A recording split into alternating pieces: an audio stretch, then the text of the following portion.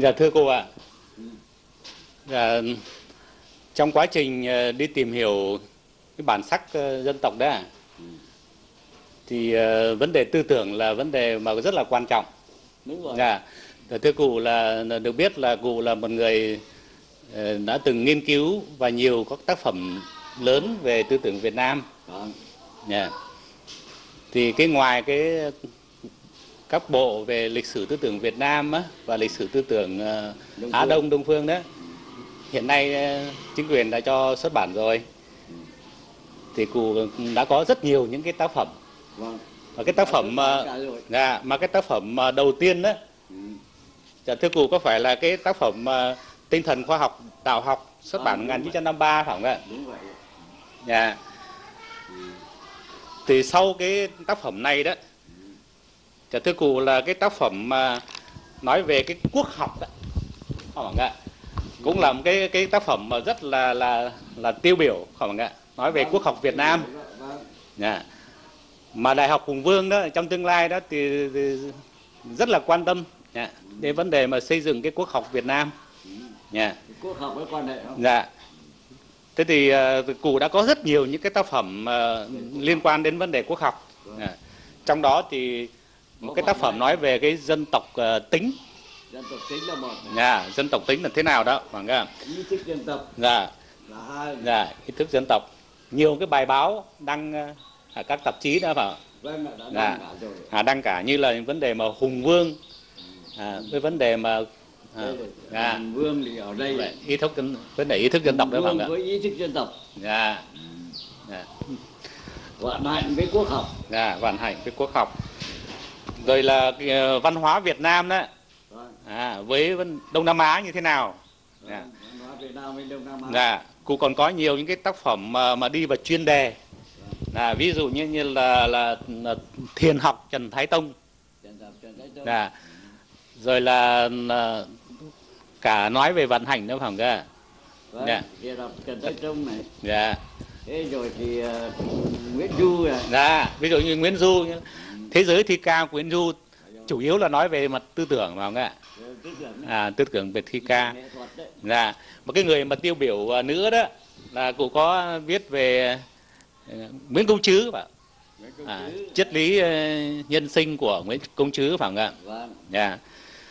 Thì thưa cụ à, những tác phẩm của cụ thì rất là nhiều. vâng. Dạ. Thì, dạ, thì hôm nay thì xin cụ cho một vài nét rất hết sức tổng quát. Dạ.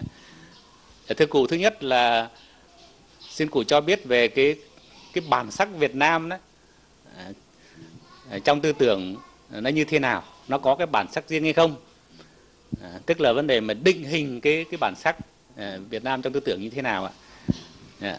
Thì xin uh, cụ uh, cho đàn hậu sinh được biết và trong tương lai nữa thì uh, cái hướng là làm sao có một cái chiến lược văn hóa định hình và phát huy bản sắc dân tộc để cho văn hóa Việt Nam nó có một cái bản sắc rất đậm nét. À, thưa cụ là cụ xin cụ ờ, cho hậu sinh biết về những cái điểm vừa nói trên ạ. Thế như thế tức là tôi nói về truyền thống Dạ. tư tưởng Việt Nam. Dạ. Và truyền thống tư tưởng Việt Nam đó nó bắt đầu có hai cái nguồn gốc cảm hứng. Dạ. hai cái nguồn gốc cảm hứng đó là do các nhà khảo cổ đã phát hiện. Thì tức là chống đồng và mộ cổ. Cái chống đồng và mộ cổ đó là hai cái sắc thái đặc biệt của Việt Nam. Là mộ cổ thì chôn cất ông cha mình chết đi. À, chết là thể xác mà còn là tiếng Anh. Thì cái tiếng Anh đó hợp với lại thần tiên. Cho nên rằng là cái sùng bái thần tiên đó mà sau này người ta viết là Le Queen de Immortel là thờ phục sùng bái những các cái vị thần tiên, bất tử. Thì đấy là mình đem cái linh hồn của tổ tiên mình, của người thân yêu của mình, gửi vào trong các cái động. Mà các cái động đó thì là tượng trưng cho thần tiên cho nên ở bắc ninh chẳng hạn, ở núi nghi vệ, thì có nhiều những các cái động đó. và những các cái động đó, phần nhiều là có những các cái bàn thờ của tổ tiên người ta đem cái quan tài của tổ tiên đó, đặt vào trong các cái động để thờ như thế tức là muốn phối hợp cái linh hồn của tổ tiên và với lại cái ờ, ờ, cái cõi thần tiên. Đấy là một cái nguồn cảm hứng của truyền thống tư tưởng Việt Nam. Cái nguồn cảm hứng thứ hai là cái nguồn này là cái nguồn quan trọng của đoàn thể. Thì tức là cái chống đồng. Cái chống đồng thì này gọi là cái chống đồng đông sơn đó. Thì khi mà khám phá ra cái chống đồng đông sơn đó, thì là thời lý lý thanh tông đi đánh chiêm thành, qua thanh hóa. Thì có à, mộng thấy một cái vị thần núi, gọi là núi núi đồng cỏ, núi trống đồng. Thì có đem cái trống đó mà hứa với lại nhà vua, và chúng tôi giúp nhà vua để thắng quân chiêm thành. Và tôi đem cái trống để đi để đi giúp. Thì cái trống đó là gì? Là cái hiệu lệnh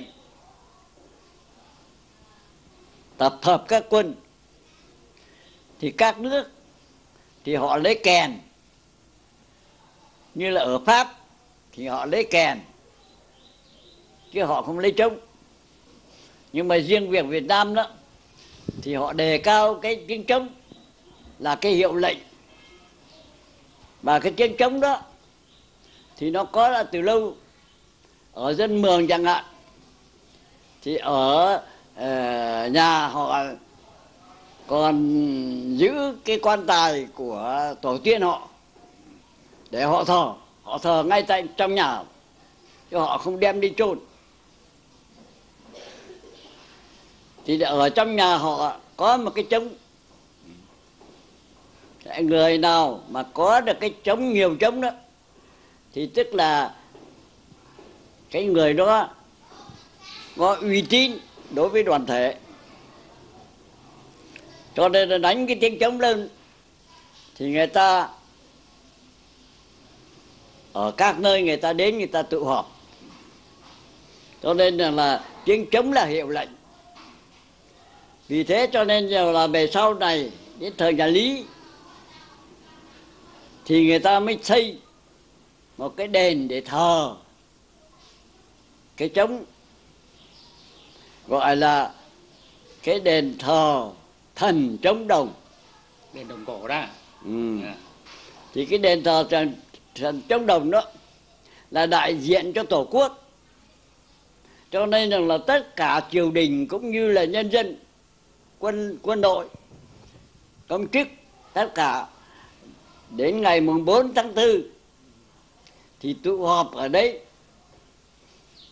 để mà uống máu ăn thề với nhà vua, với triều đình là làm quan thì thanh liêm. Mà làm dân thì phải trung thành với lại tổ quốc. Thì sau khi mà đã đọc cái bài, cái lời thề đó rồi, thì mỗi người đều đều uống một cái ban máu máu đó phần nhiều là máu máu dê máu bò máu gì máu ngựa vân vân. Uống máu ăn thề đó. Phải rồi. À. ở là cái lời thề đó. Thì cái đó cứ hàng năm họ làm như thế từ thời nhà lý cho đến thời nhà hồ. Nghĩa là suốt 500 năm. Mãi sau thời hồ quý ly mới bỏ cái cái tục đó. Thay bằng cái bằng cái lễ cái, ờ, cái lễ xuân thu nhị kỳ ừ, cái lễ thiên địa. Thì cái lễ thiên địa đó người ta gọi đó là cái lễ tam giao. Thì cái lễ đó là bắt chước của tàu.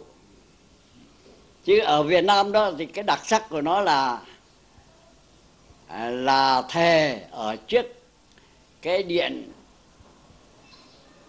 thần đồng họ biến thành thần. Yeah, thần, thần đồng. núi đồng. Yeah. thần núi chống đồng. À. thế thì chống đồng có thể đại diện cho cái ý thức của dân tộc của đoàn thể.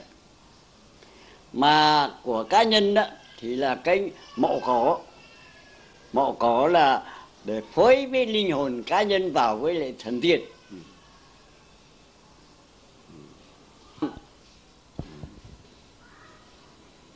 cho nên rằng là sau này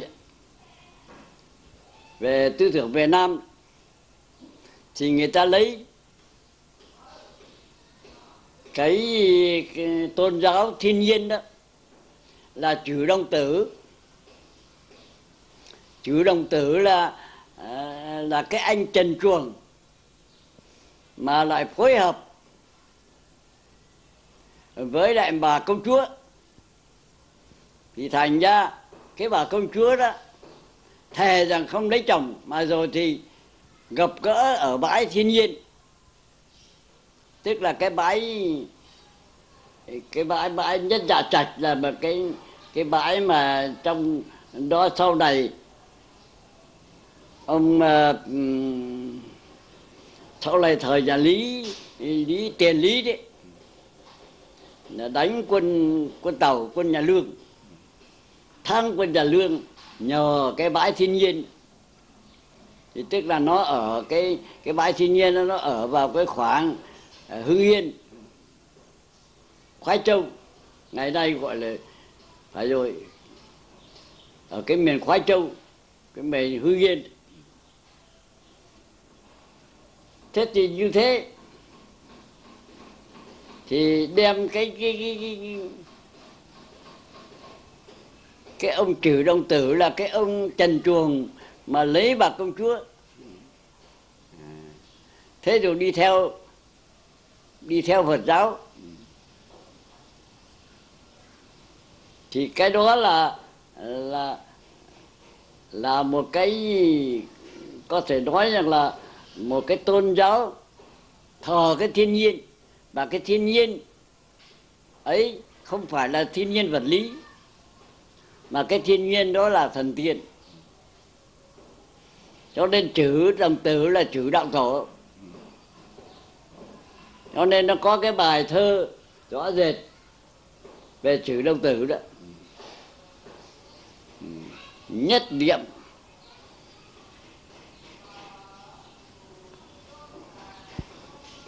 Duyên may nhất niệm khả thông thần. Nghĩa là một chỉ một niệm có thể nghĩa là nối được với với tuyệt đối. Thần đấy là thần linh. Thì cá nhân linh hồn cá nhân nối với lại nối với, nối với lại tuyệt đối là thần thần linh. Chứ không có không có có có có có, có, có, có không có môi giới trung gian giữa thần linh với lại con người như là ở uh, thiên chúa giáo chẳng hạn. Thiên chúa giáo thì phải qua mục sư mục sư rửa tội cho rồi thì bây giờ mới mới đi đến ờ, đến chúa rồi. Thì người việt nam mình đi thẳng đến chúa cá nhân đi thẳng đến chúa. Sau khi chết thì hợp nhất với lại với lại thần tiên tức là hợp nhất với lại cái thiên địa chi tâm là cái ý thức, vũ trụ.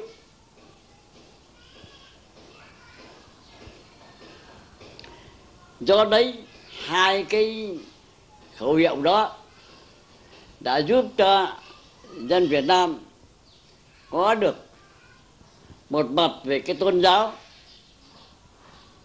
Cái tôn giáo đó là một cái thứ tôn giáo tập đại thành, chứ không đem hệ thống hóa mà đóng cửa để chống đối với lại các cái tôn giáo khác. Trái lại, nó sẵn sàng để nó thâu hóa. Cho nên rằng là tôi tôi gọi rằng là cái chất thái của Việt Nam đó là thâu hóa và sáng tạo.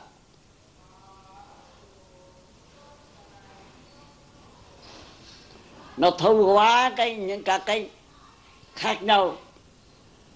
Nó giao lưu ở trên cái đất giao chỉ đó. Là cái đất lĩnh, lĩnh nam đó. rồi sau nó mới nó mới phát triển. Thì cái đó có thể nói rằng là nó chi phối hai cái mô thức văn hóa chống đồng với lại mộ cổ đó nó chi phối tư tưởng Việt Nam cho đến thời thời Lê Nguyễn. Vào thời Lê Nguyễn đó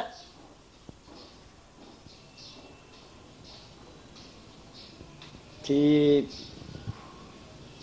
thì thì thì thì thì, thì, thì cái thiền học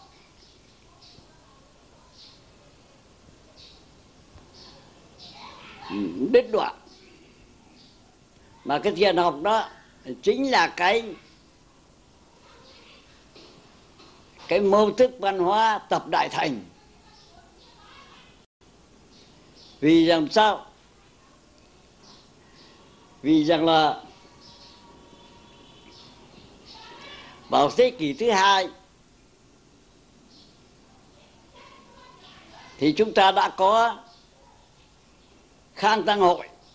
Ở ở, sinh trưởng của giáo chỉ thế nhưng mà là nguồn gốc của bác Ấn Độ đã di cư sang đây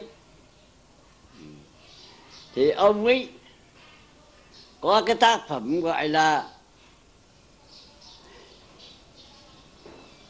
thiền độ vô cực. Thì trong cái thiền độ đó, ông ấy lấy cái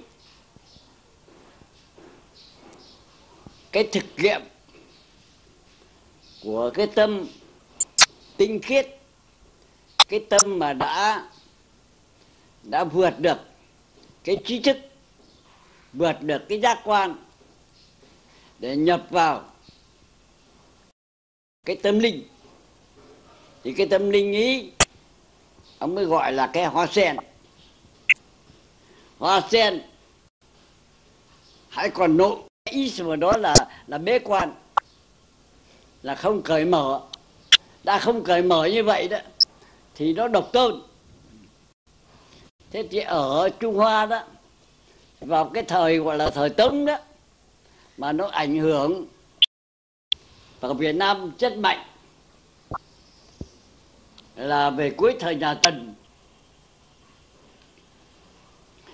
Thì phần nhiều là nho sĩ khi mà chịu ảnh hưởng của nho giáo, thì đều bắt chiếc bắt chiếc tống nho. Nhất là vào thời cuối nhà Trần. À, đến đầu nhà Lê. Bắt chiếc tống nho thì thành ra gạt hết cả cái, những cái tư tưởng khác đi, mà đóng cửa vào nho giáo. Tống nho thì chủ trương là tịch thích đạo. Là bài bác phật giáo và đạo giáo. Mà cái tư tưởng bài bác như vậy đó, để mà độc tôn nho giáo đó, ở trung hoa, thì nó kéo dài cho đến nhà thanh. Nhà minh, nhà thanh, nhà tống. Tống, minh, thanh là đều đều chủ trương như thế cả. Đến nỗi rằng là vương trương minh là một nhà nho, nhưng mà là nhà nhà nho khai phóng nhà nho tâm linh. Nhà nho đã chịu ảnh hưởng của ờ, của phật giáo rồi, là của thiền đó. Cho nên rằng là ông ấy mới chủ trương rằng là vô thiện vô ác thì tâm chỉ thể, hữu thiện hữu ác thì ý chỉ động. Chi thiện chi ác thị lương chi. Vi thiện khư ác, thì cách luật. Thì đấy là cái chủ trương của vương dương minh. Nhưng mà vương dương minh thì lại bị tống nho nó bài. Cho nên là vương dương minh chỉ còn được phát triển ở bên nhật bản thôi nhật bản thờ vương dương minh như là vị thánh. Và họ xây dựng cái quốc học của họ với lại cái chủ trương vương dương minh bởi thế cho nên rằng là ở nhật, nhật bản họ phát triển về cái thiền. Nhưng mà cái thiền của họ là cái thiền nghệ thuật. Vì rằng là cái tâm lý nghệ thuật đó là cái tâm lý vật ngã câu vong đứng trước cảnh thế này thì mình nhập vào với cảnh, thì cảnh với mình là một. Thì cái đó, đấy là cái cái tinh thần thiền của Nhật Bản. Còn tinh thần thiền của Trung Hoa thì bắt đầu từ thế kỷ thứ bảy với lại bồ đề đạt ma thì cái đó lại là đi đi vào các nơi, rút lui về về rừng núi. Thì tức là đi tìm cái giải thoát ra ngoài xã hội còn cái thiền Việt Nam đó là cái thiền làm vua. Cho nên các vua thời Lý, thời Trần đều là thiền sư cả. Và cái thiền đó bắt đầu từ từ thế kỷ thứ ba. Chứ ở Trung Hoa đó, mãi đến thế kỷ thứ bảy, bây giờ mới có mới có cái thiền, mới có cái ảnh hưởng của Phật giáo ở Bồ Đề Đạt Ma đi sang sang Đông Du thế thì, thì thế kỷ thứ thứ năm à, thứ bảy mới có. Chứ còn ở Việt Nam thì từ thế kỷ thứ hai thứ ba đã có rồi đã có cái ảnh hưởng của Ấn Độ rồi. Huống chi rằng người Việt Nam ở đất giao chỉ lại tiếp xúc trực tiếp với lại với lại chiêm thành và chân lập. Thì hai cái nước đó là là là văn hóa ấn độ rồi. Bởi thế cho nên rằng là cái đất việt nam sau này nam tiến rồi lập thành một nước từ Lạng Sơn. Mà cho đến Hà Tiên. À, rồi cho đến Hà Tiên. Thì thì ở trên cái mặt đất của nó, ở trên cái địa bàn của nó nó có chiêm thành, là văn hóa ấn độ. Nó có chân lạp là văn hóa ấn độ. Và nó có giao chỉ, là văn hóa trung hoa. Vậy thì ba cái đó nó hợp là một. Thì gọi là nó mới thu hóa cái đó. Để đi đến cái nhất quán và cái nhất quán của nó đó là Phật giáo Việt Nam. Thì cái Phật giáo Việt Nam đó, nó không phải là Phật giáo Ấn Độ, nó không phải là Phật giáo Trung Hoa. Nó chẳng phải đại thừa, mà nó chẳng phải là tiểu thừa. Tiểu thừa thì giải thoát cho, giải thoát cho cá nhân.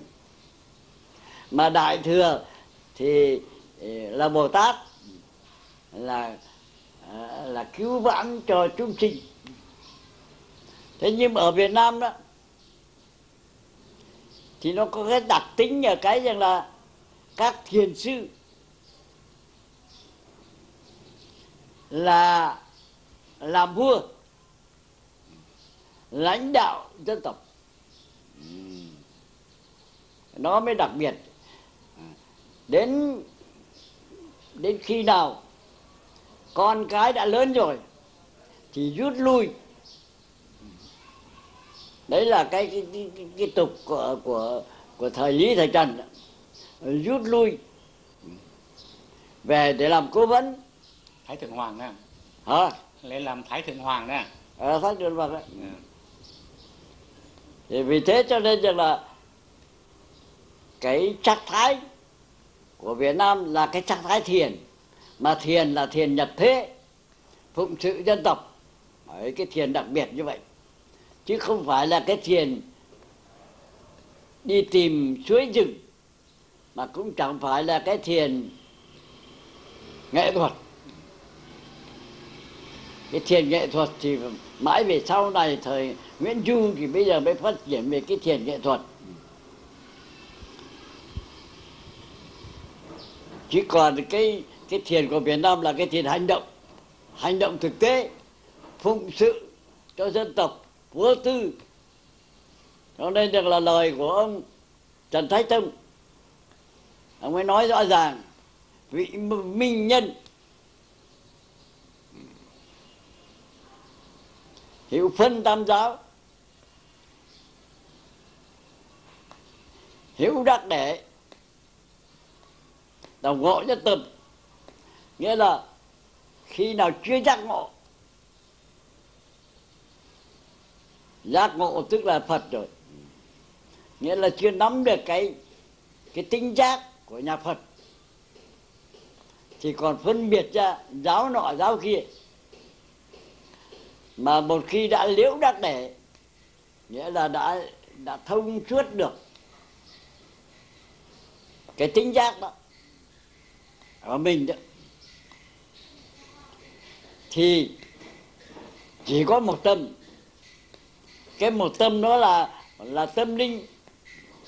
Tâm linh vũ trụ. Ở mỗi người chúng ta. Cho nên là ông trần nhân tông là tổ sư của của cái dòng thiền trúc lâm yên tử. Mới có cái bài kệ rằng là để định nghĩa cho chữ thiền của cái dòng trúc lâm tâm tổ đó là cư trần lạc đạo thả tùy duyên. Nghĩa là ở trong đời mà vui với đạo lại mặc cho cái, cho cho sự sống may rủi. Cơ tắc số này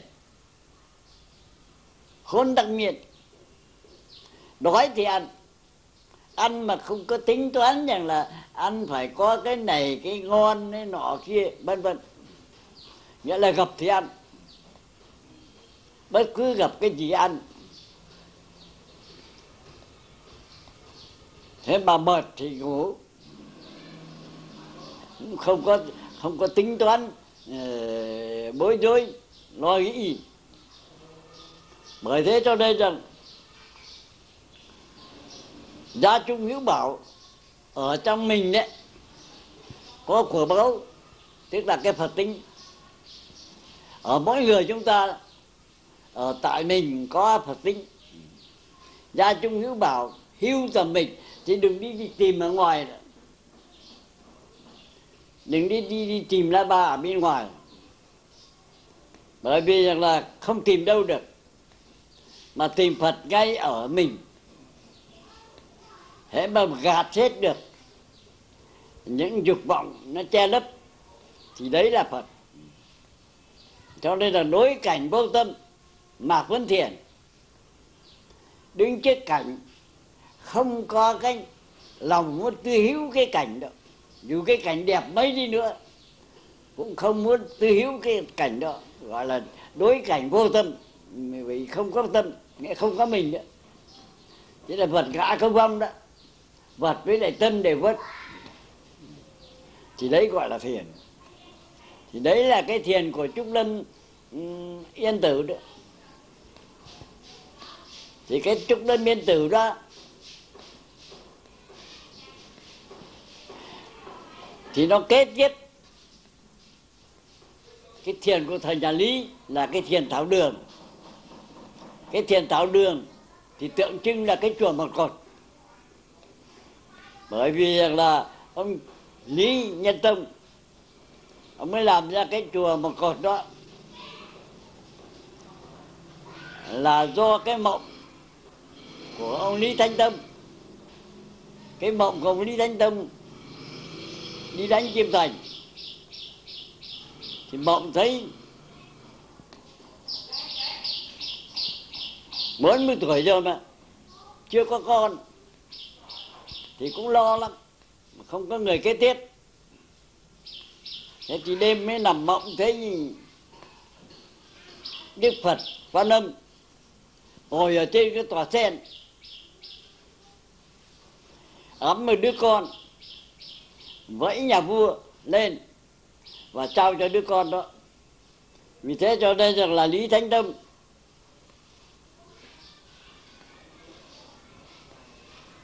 Mới đi cầu tự ở các nơi, thì về bắc ninh, đến thuận thành, đến cái chùa gọi là cái chùa pháp vân bây giờ. Thì đến đấy đó, thì mới gặp được cái cô gọi là cắt cỏ. Cái cô gái cắt cỏ đó, mới hát một cái câu rằng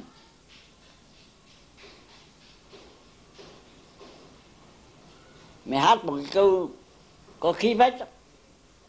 thì ông mới nghe cái câu hát của cô ta. Ông mới mi cho người gọi đến. Rồi thì ông ấy chịu làm chịu vào cung, làm thần phi tức là làm nguyên phi. Thì khi mà ông ấy đi đánh kim thành thì ông ấy giao công việc cai trị gọi là nhiếp chính cho cô ta. Thì cô ấy ta làm rất là đẹp bởi vì cô ấy là người nông là một nông là, là thôn nữ. Thôn nữ thì người ta gần với lại nhân dân. Thành ra nhân dân ca tụng bà ấy là gọi là ỷ lan, là dựa cây cây lan. Nhưng mà kỳ thực ra là là một cô con gái thôn nữ đương cắt cỏ.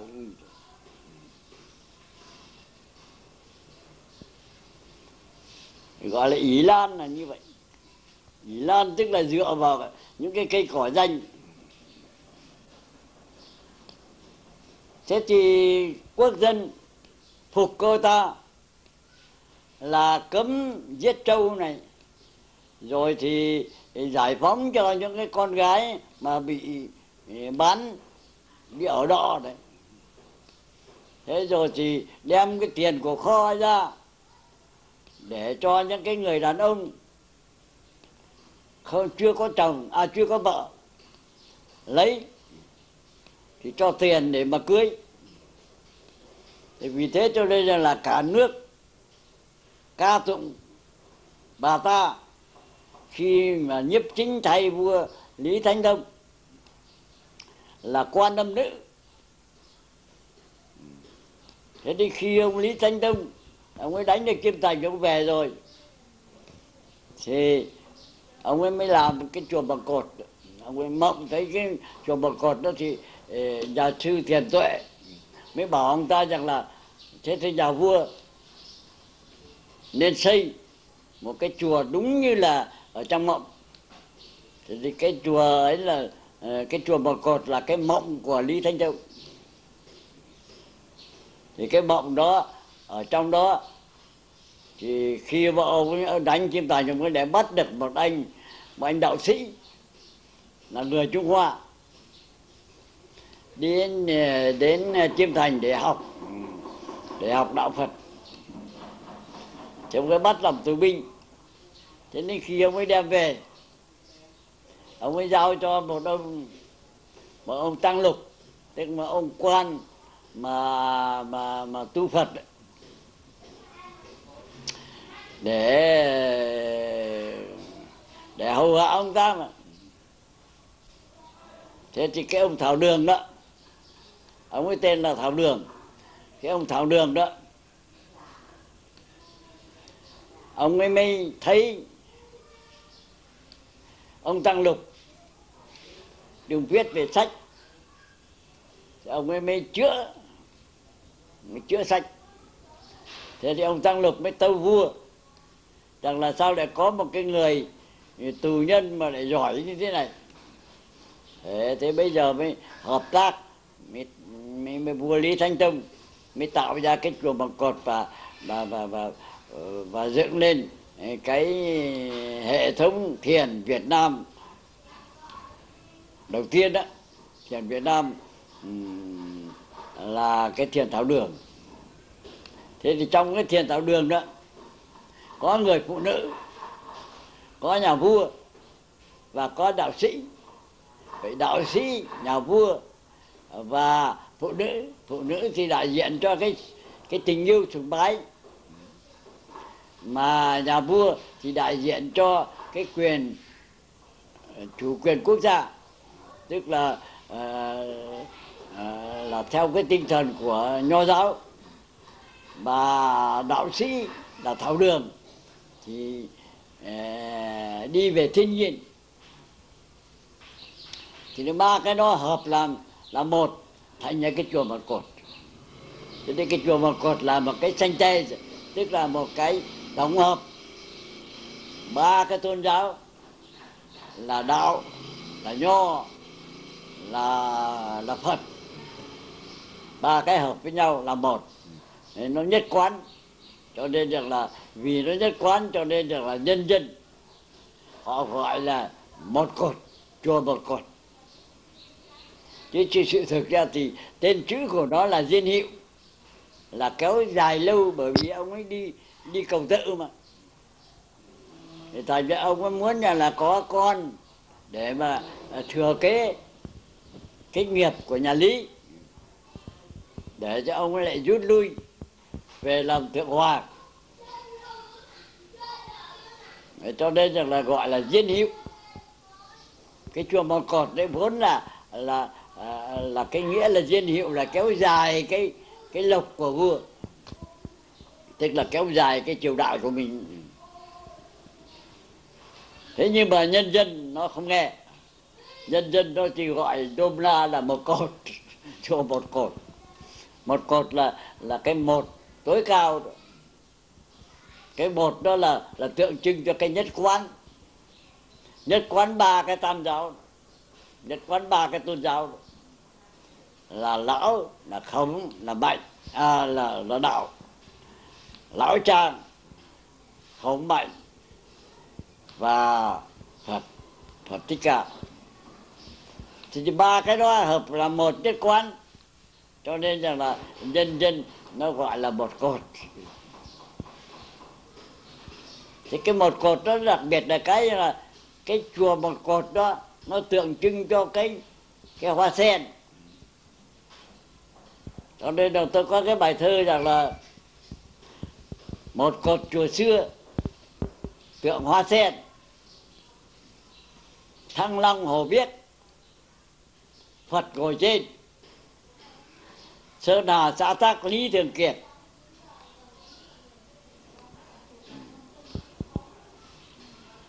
Sơ đà xã tác lý thường kiệt.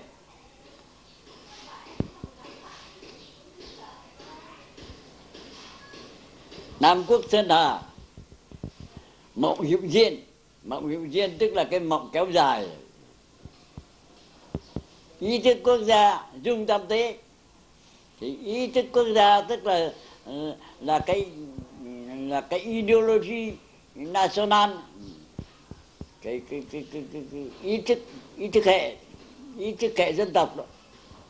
Ý thức quốc gia dung tâm thế trung tâm thế là của vạn hạnh. Vạn hạnh dung tâm thế mà thế và ông thiền chư vạn hạnh đó thì đặc biệt là cái là ông lý nhân tông. Ông ấy ca tụng ông vạn hạnh là vạn hạnh dung tâm thế, là vạn hạnh không phân biệt quá khứ, hiện tại, vị lai. Đây là vạn hạnh đã thực hiện, đã thực thực hiện được. Cái trạng thái của ý thức, không có thời gian, không gian. Đấy là cái ý thức vũ trụ rồi. Với cái ý thức ý thì dĩ nhiên là người ta thâu hóa, sáng tạo.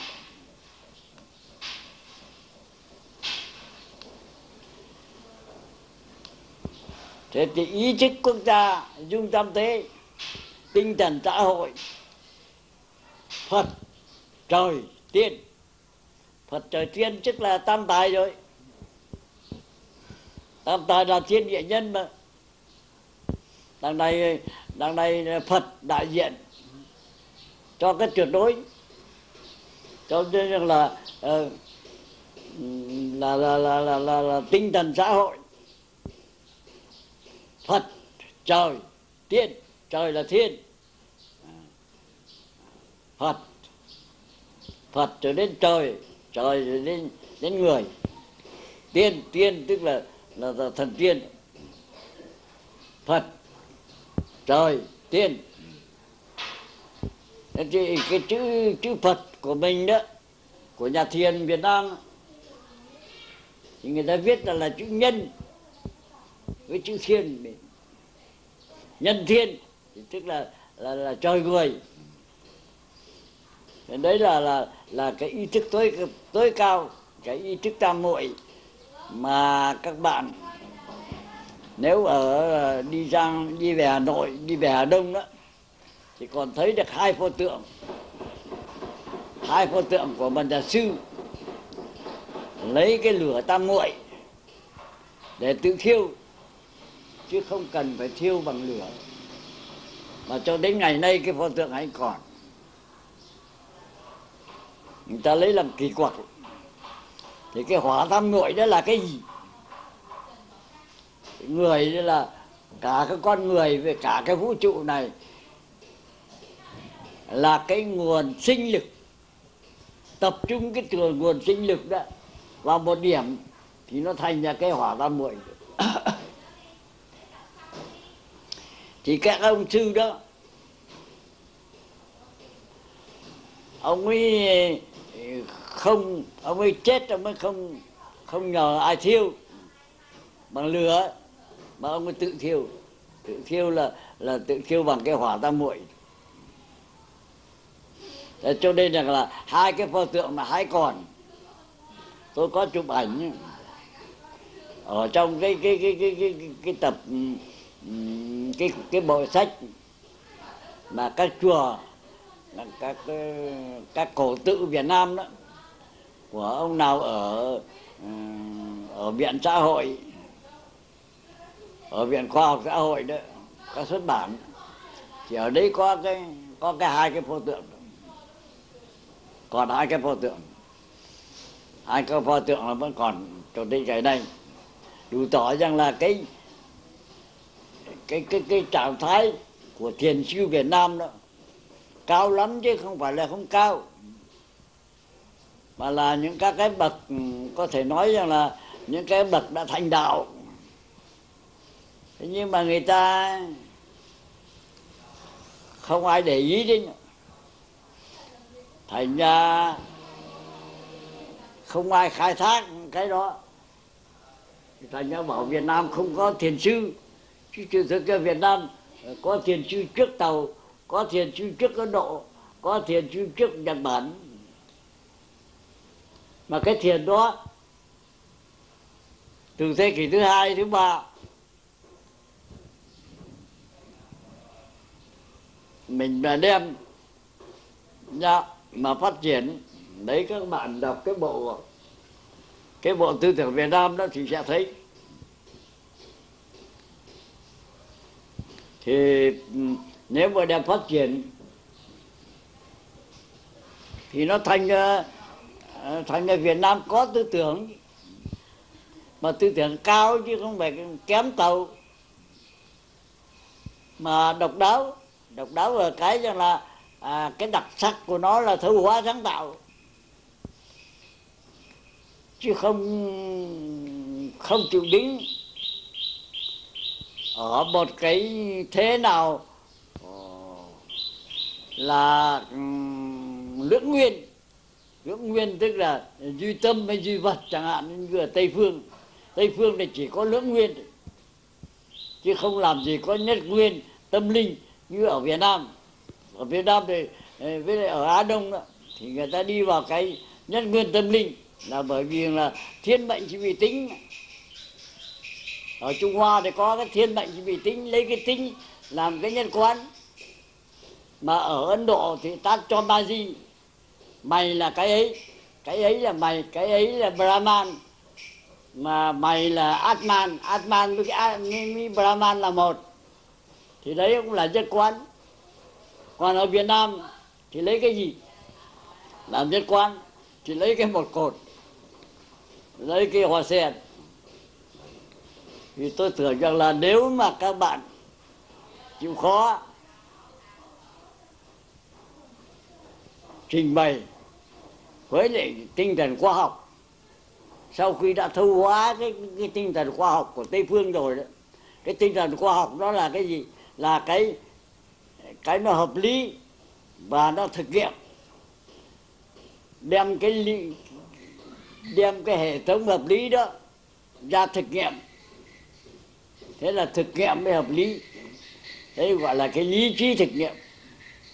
Thì đến cái lý trí thực nghiệm đó thì có thể nói rằng là nó không có biên giới nào cả. Nó không có duy tâm và nó không có duy vật. Chứ ông ông ông tây phương ông ấy đi đến cái, ông ấy muốn giải thoát khỏi cái cái cái cái tam đoạn luận, tức là cái lý trí của của đề các thì tức là ông các sao? Thì ông ấy chịu ảnh hưởng của ông Hegel.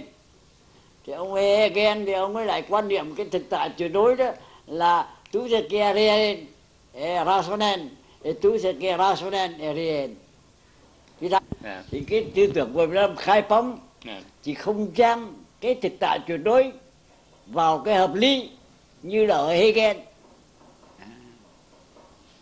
Thế cho nên rằng là nó không duy tâm mà nó cũng chẳng như vật.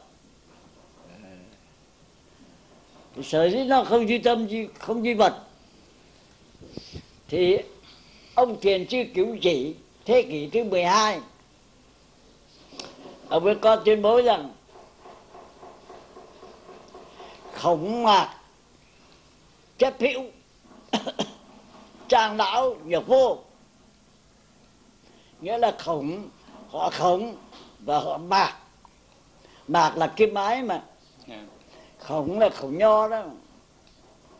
Thì chấp hữu là cho thế gian này là có thật. Còn ông trang lão thì ông trang tử với lại ông lão tử đó thì cho rằng là nó không có thật nó là ước lệ. Nó là hình danh chắc tướng, thì nó không có thật. Cho nên là ngược vô, thế thì cái chủ trương của lão trang là vô vi, mà cái chủ trương của khổng mặc là hiếu vi.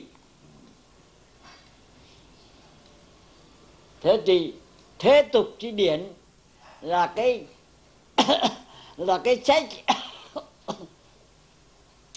là cái sách mà viết về về thế giới hiện tượng đó. Gọi là là thế tục chi điển phi giải thoát pháp không phải là là cái là cái sách nói về cái cái, cái, cái tự do giải thoát cho dân tộc. Duy hữu phật giáo là chỉ có phật giáo. Bất hữu hữu vô nghĩa là không chấp vào có vọng không chấp vào không. Bất hữu hữu vô. Khả liễu sinh tử mới có thể giải quyết được vấn đề sống chết.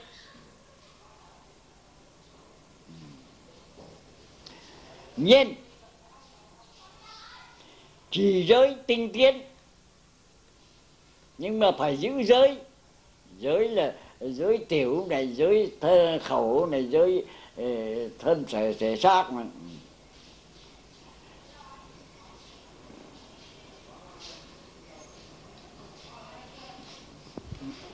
Dạ thưa cụ à, chỉ à, giới tinh tiến cầu thiện trí thức ấn chứng khả đắc. Là phải tìm đến cái người đã đắc đạo rồi đó. Họ chứng cho họ họ họ truyền cho cái thực nghiệm của họ. Họ cởi mở cho cái cái cái cái cái, cái, cái, cái bế tắc của mình. Thì bây giờ mới đắc đạo. Thì bây giờ mới đạt tới đạo thế thì ông ấy ông ấy mới, mới kết thúc. Cái cuộc đời của ông ấy bằng một bài kệ.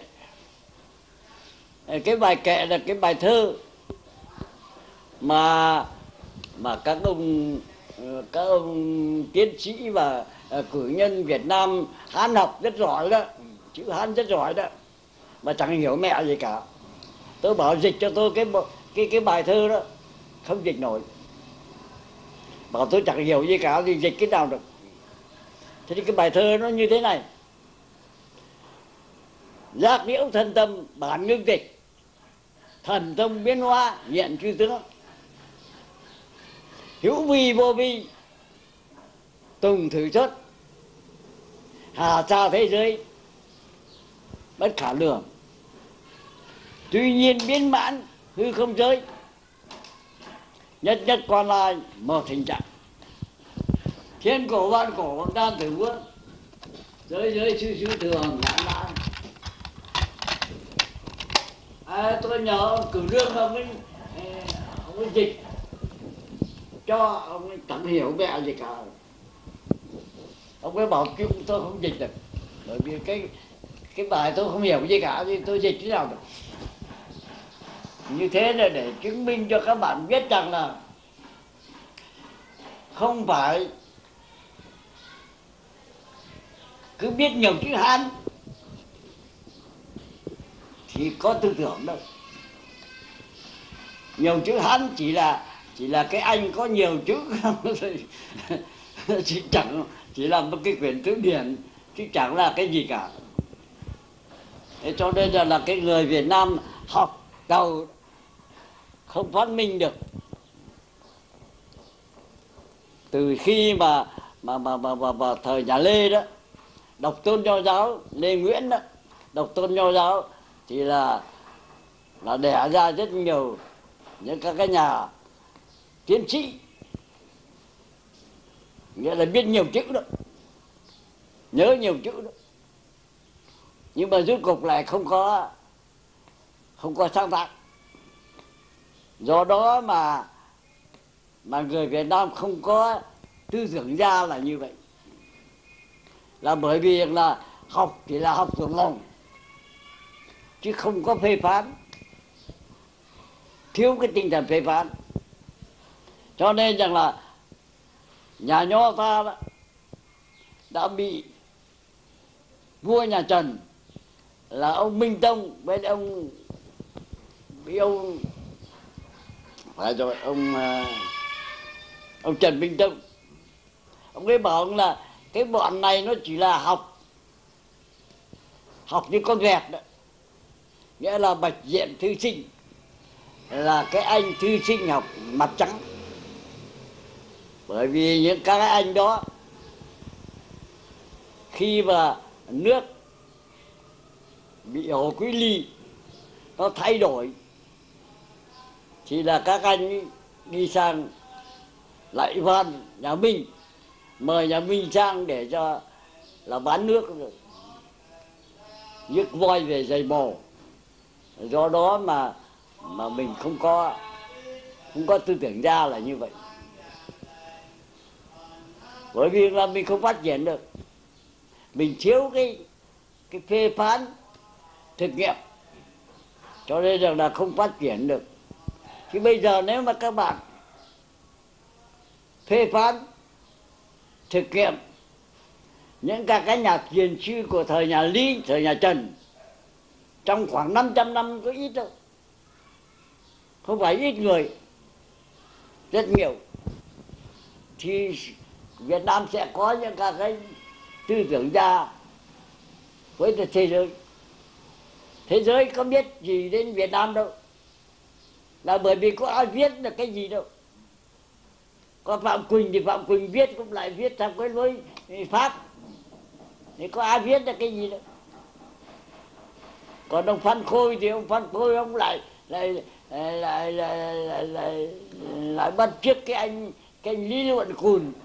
Ăn thua gì đâu. Bởi thế cho nên là người việt nam không có tư tưởng ra là bởi vì là chúng ta không có khả năng để mà phát triển vì chúng ta thiếu cái tinh thần phê phán. Phê phán là cái tinh thần khoa học. Tinh thần khoa học căn cứ vào thực nghiệm mà phê phán. Thế thì tự nhiên là ờ, sẽ có những các cái nhà à, tư tưởng ra xuất hiện ngay chứ có gì đâu. Thì thế giới sẽ sẽ phục cái. Là bởi vì là mình không phát triển được thì thế giới nó cứ biết cho đâu. Mình bị pháp nó đô hộ thì nó pháp nó nó dìm hết cả đi về còn đâu nữa. thì thành ra mình có thể nói rằng là là Parangpo là ở một cái tình cảnh ừ, bi đát quá. Không có không có ai để phát triển. Ngày nay nếu mà có phát triển thì có ai hiểu đâu mà mà mà mà mà, mà phát triển. Thì có ai mua sách của mình đâu mà mà mà mà mà, mà, mà bảo rằng là mình phát triển được. Sách làm ra thì để đấy thì để xóa đấy thôi chứ. Có ai đọc được đâu. Bởi vì đọc thì phải có những các yếu tố để mà hiểu. Thế bây giờ tôi nhờ các bạn hãy đọc cái bộ sách thiền tông của trần thái tông chẳng hạn. Thì tôi đã viết. Thì các bạn xem, các bạn có hiểu không? Không hiểu được chứ. Không có học về siêu hình học, về bản thể học, về khoa học, về luân lý học. Tất cả những cái đó, mình có học, có có hệ thống gì đâu mà bảo rằng là mình mình mình hiểu được thì thành ra, khi mà tôi viết những cái bộ sách đó chỉ vứt xó đấy thôi chứ làm cái gì. Thế cho nên rằng là ở Việt Nam có những các cái bậc thiền, họ thực hiện âm thầm. Và cái như ông Trần ông Trần Đức San chẳng hạn, ông mới có cái bài thơ. Trong đó thì tôi chỉ nhớ có hai câu rất hay văn phi sơn thủy vô kỳ khí dân bất phong riêng vị lão tả. Thì văn chương mà không có không có cảm hứng của của giang sơn đó, của sông núi, tức là giang sơn rồi, là của tổ quốc rồi. Nhưng mà là cái của thiên nhiên. Không có cảm hứng của sông núi, tức là của thiên nhiên, của âm dương. Sông là Ờ, là nó luôn luôn nó chảy mà thì nó gọi là dương. Mà núi thì nó đứng thường xuyên một mình đó à, đứng đứng hoài đó, thì gọi là âm. Thế cho nên rằng là vũ trụ là âm dương. Văn chương mà không có cảm hứng về vũ trụ âm dương thì không có không có hồn.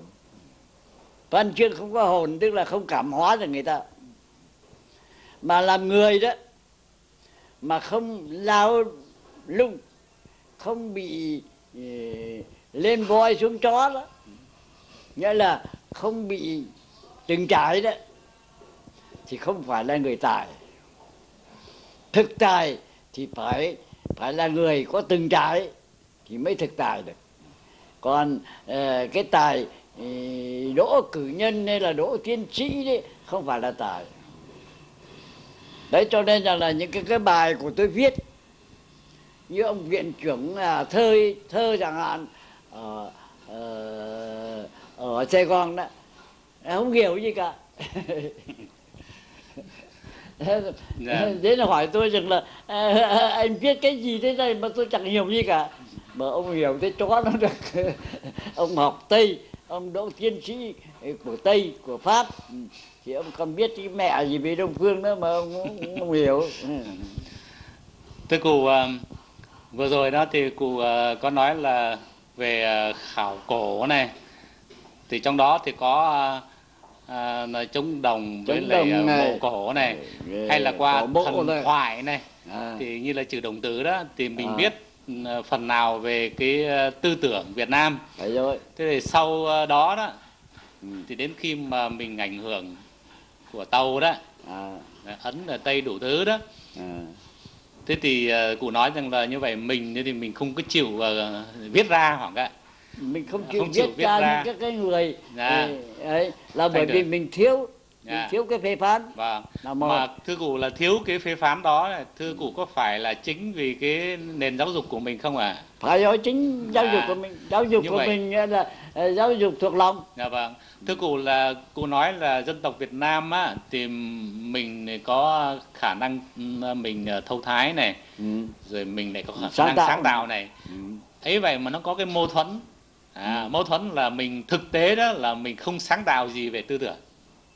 Nhiều À, mà mà không sáng tạo tư tưởng đó tức là mình viết ra mà cũng là do về mình cái bây giáo dục. giờ đó nói bây giờ Dạ. thì là bởi vì mình không hiểu ừ, ông cha này nữa mà Dạ. Thế từ cụ thì như thế tức là dù sao như vậy đó thì mình cũng phải thừa nhận là đóng góp cho nhân loại đó về những cái tư tưởng lớn đó ừ. thì chưa có người nào mà, Mình mà hệ làm. thống lại được. mình chưa làm được À, thưa cụ thế nhưng mà bây giờ mình làm chúng cháu là những người mà hậu sinh đó à, thì giờ muốn rằng là à, có làm. thực hiện cái điều đó. à, Thế thưa cụ cụ xin cụ Thì cho ý kiến bây giờ ông- phải làm như thế nào? à. Cụ có lời Thì khuyên làm như thế nào? ông học phải có ờ, phải có đầu có cuối Dạ. mà học có đầu có cuối thì mình bây giờ đó học thì phải học cả tây cả khoa học mà cả đông học thì cái đông học thì có hai cái truyền thống ấn độ và trung hoa. Thế ông phải học hai cái đó. Ông lại học cái khoa học tây phương. Là học khoa học tây phương. Thế thì ba cái đó hợp lại thì tạo cho ông cái tinh thần phê phán.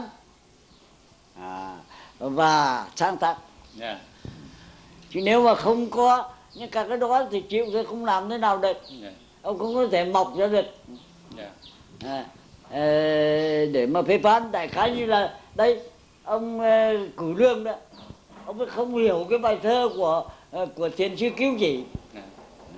mà cái bài thơ đó thì đây tôi đã đọc thì các ông nên biết thì, thì, thì các ông thử đem cái bài thơ đó các ông hỏi các ông nho xem các ông ấy có hiểu không Dạ. Thưa cụ thế này à, à ngày xưa thì à, khổng tử đó à, khi mà lập ngôn khi mà xây dựng cái tư tưởng của khổng đó à, thì cũng à, lấy từ những cái nhà nho trước đó. Phải rồi. Thế thì thưa cụ nghe ở về Việt Nam chúng ta đó thì cái nguồn tư tưởng đặc biệt đó là dân gian đó à, như là ca dao nhất là tục ngữ đó. Phải rồi. Cái kho tàng đó thưa cụ là nó có có thể hữu ích gì cho chúng ta xây dựng một cái một cái hệ tư tưởng một cái tư tưởng của Việt Nam À. nó tính cách là nó thuần túy À. và nó mang bản sắc Việt Nam tốt không ạ? à, có chứ Dạ. có thể được chứ Dạ. Nên duy chỉ có cái rằng là mình không có phương pháp Dạ. à, Dạ vâng. mình một khi mình có phương pháp rồi thì bất cứ một cái tài liệu như là ca dao tục ngữ hay là một cái tác phẩm nào như là ờ, thơ ờ, Nguyễn Du hay là thơ Trần Bích San hay là thơ của Trần Cao Vân vân vân Nguyễn Công Trứ. chúng ta có thể phát triển được À, như Nguyễn Công Trứ chẳng hạn. Vâng ạ. à, như cái công chứ cũng cứ phong phú lắm Vâng, phong phú. cái công chứ phong phú ghê lắm Dạ. Thì thưa cụ là như thế là trước hết là chúng ta phải có phương pháp phải phải có phương pháp Dạ, và có cái người mà phải xuất sắc từ cái dạy nền cho giáo các dục. bạn cái Dạ. phương pháp này mới được chứ Dạ. Cái nền giáo phương dục. pháp đó là phải là phương pháp khoa học Dạ. nhưng mà không phải khoa học tây phương mà thôi Dạ. khoa học tây phương chỉ chỉ hoạt động ở trong cái lưỡng nguyên Dạ. duy cái nọ và duy cái kia thôi Dạ. từ thời từ thời hy lạp cho Dạ. đến ngày nay cho đến đề cạc Dạ. vẫn chỉ ở trong cái vòng cái vòng rational Dạ. nghĩa là cái vòng hợp lý thôi Dạ. Chứ không có cái sự phê phán thực nghiệm như là ở đông phương. Dạ. ở đông phương thì thì người ta biết thượng đế. Mà biết thượng đế là gì? Là thành ra thượng đế. Nghĩa là thực tại thành giả thiên chi đạo. Nghĩa là thành thật là cái đạo của trời. Mà thành chi giả nhân chi đạo làm thành ra cái cái thực tại đó trở nên cái thực tại đó đấy là cái đạo của người Dạ. thế có ai thành chi đâu Dạ, thưa thưa cụ thế này, hiện bây giờ thì ờ, chúng ta có một cái nền văn hóa hùng vương đó, mà giờ nó đang tiềm tàng, ừ. nó ẩn ẩn tàng khắp nơi, Phải khắp ờ, mọi mặt. À. Chúng ta là thứ hai nữa là, là chúng ta ờ, có những cái kho tàng về tư tưởng dân gian Ừ. như là ca dao tục ngữ như cụ của nói. nhiều Thì thưa cụ là anh em hậu sinh đó cũng mong muốn là làm sao chúng ta có một cái chiến lược văn hóa ngàn năm đó, cái chiến lược lâu dài đó là làm sao mình định hình à, rồi là phát huy cái bản sắc riêng của dân tộc ta ừ. như là về mặt tư tưởng hay là các lĩnh vực khác Ừ.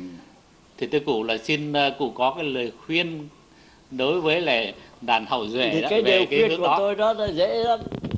Là bởi vì là bây giờ các bạn bạn đọc là phải có phê phán. À. thế và các bạn cần phải có phương pháp luận. Dạ, thế bây giờ không có phương pháp luận thì chịu không làm cái gì được. Dạ, thì cũng như là không có chân tay thì không có thể nắm được cái gì cả thì bây giờ phải phải có chân tay. Mà cái chân tay đó là cái phương pháp luận. Mà phương pháp luận thì đấy, các bạn thấy, nó có ba cái, nó có hai cái giai đoạn về phương pháp luận. Mà có thể nói rằng là là cái Việt Nam thêm vào đấy nữa là cái thứ ba. Là trước hết là cái tam đoạn luận của Tây phương. Là không thể là người, nhân loại phải chết nhân loại người nào cũng chết thì không tử là là người thì khổng tử cũng chết. Đấy là một cái tam đoạn luận. Thế nhưng mà cái tam đoạn luận đó nó chỉ làm việc với những các cái cái gì nó bất di bất dịch thôi. Nghĩa là nó chỉ làm việc bằng những cái à, à, khái luận. Không xếp không xếp logic. Mà người tàu người ta gọi là danh lý là như vậy đến cái giai đoạn thứ hai là cái giai đoạn của biện chứng pháp là để áp dụng vào cái vật nó luôn luôn nó thay đổi. Như là dịch chẳng hạn đó. Sinh sinh chi bị dịch, nghĩa là luôn luôn nó biến đổi. Khi mà nó đã luôn luôn biến đổi, thì a không phải là a. A lại là b, lại là c liên liên nó như vậy thì biết rằng nó nó là a hay nó là b hay nó là c. À, thì đấy gọi là phải dùng đến cái cái biện chứng pháp. Biện chứng pháp là thì tây phương nó gọi là là, là dialectic. Dialectic là, là áp dụng vào cái vận động cái sự vận động. Thế nhưng mà dialectic thì nó phải lên dialectic phải chứ sao nó lại dialectic mà lại duy được? Dạ.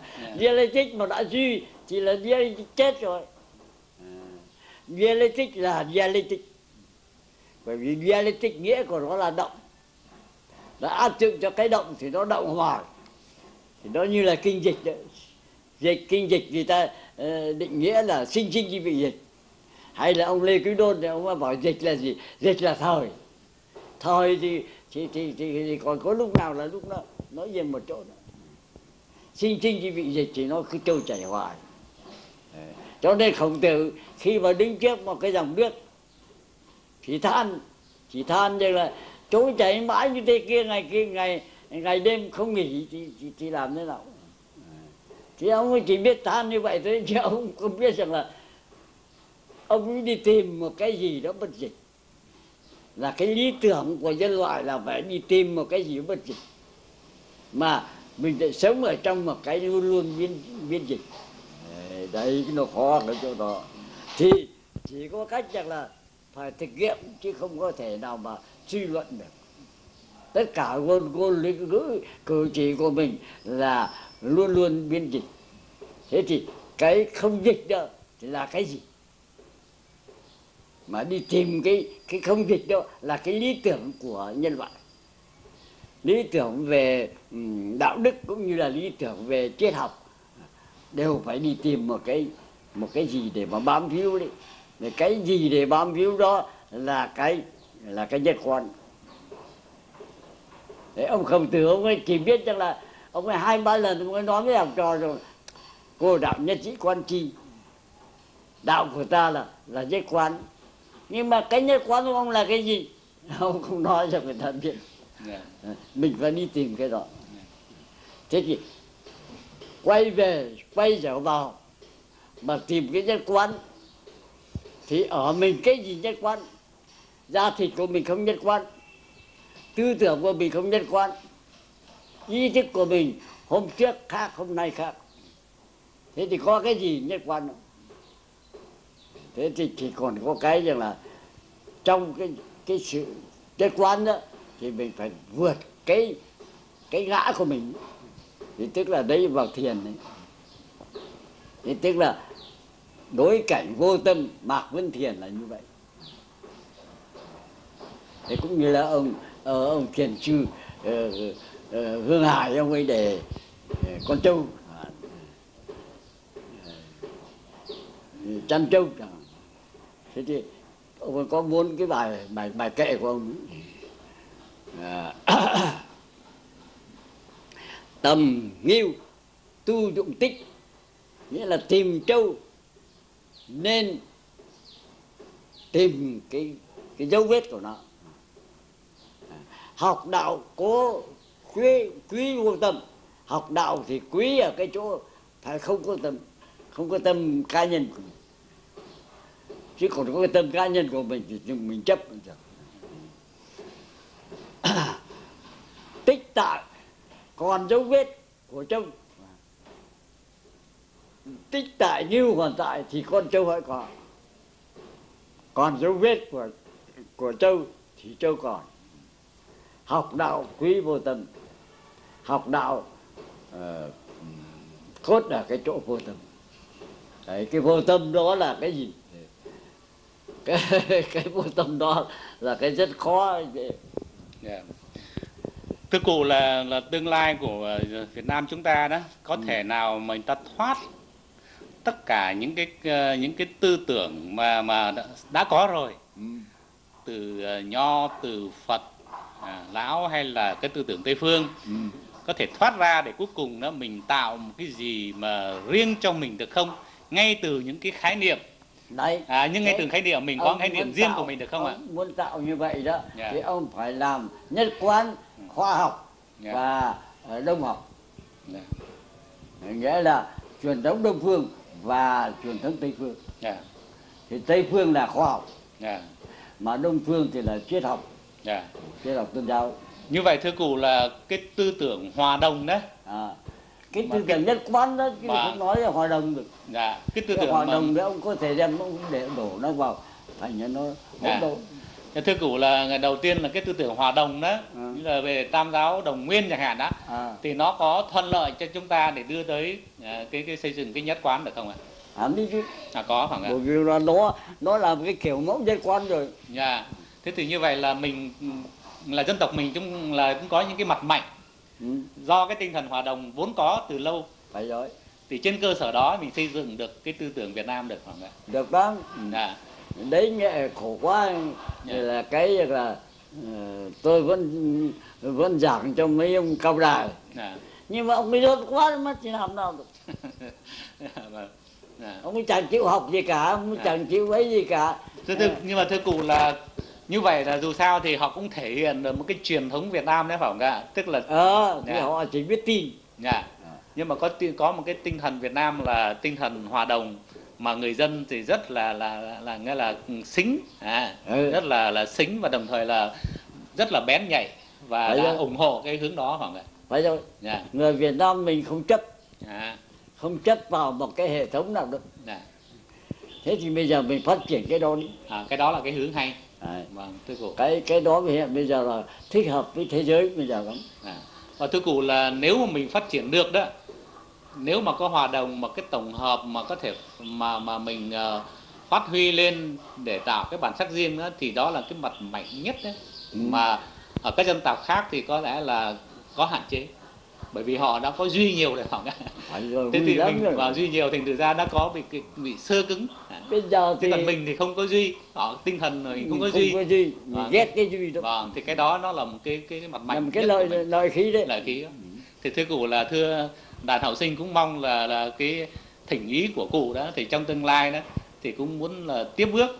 À, nhất là các cụ mà đã có một cái sự à, nghiên cứu và đồng thời là có nhiều những người tư tưởng âm thầm mà trong đó là tư tưởng dân gian của mình. Ừ. thì đàn học sinh ờ, chúng cháu sẽ sẽ cố để mà mà, mà tiếp nối và phát huy nó lên phải không đấy. À, đó thì là bây cái giờ tôi khuyên các ông ấy. Dạ, ông ông lên ông khuyên các ông ấy. Dạ, nhưng là đọc hộ tôi một quyển sách dạ, và đến đây hỏi. Dạ, đến đây chất vấn. Dạ vâng. Tôi tha hồi rồi chất vấn. Dạ, thế chứ không thì thì tự nhiên là là sẽ sẽ vỡ. Dạ vâng. Chứ nếu mà không thì Dạ. khó quá. Thưa cụ là, trong tương lai nếu mà à, cái đại học hùng vương nó xây dựng được phát triển đó Ừ. thì có một cái bộ môn là lịch sử văn hóa việt văn minh việt nam. Và rồi? Thì thưa thưa cụ là, là trong tương lai thì sẽ các sinh viên sẽ đến đến đến đây đó vâng để để và và, để thỉnh cụ chất vấn tôi được, được, Thì cái đó là một điều rất là hân hạnh. Vâng. Để cảm ơn uh, cụ nhiều Vâng, lắm vâng. ạ.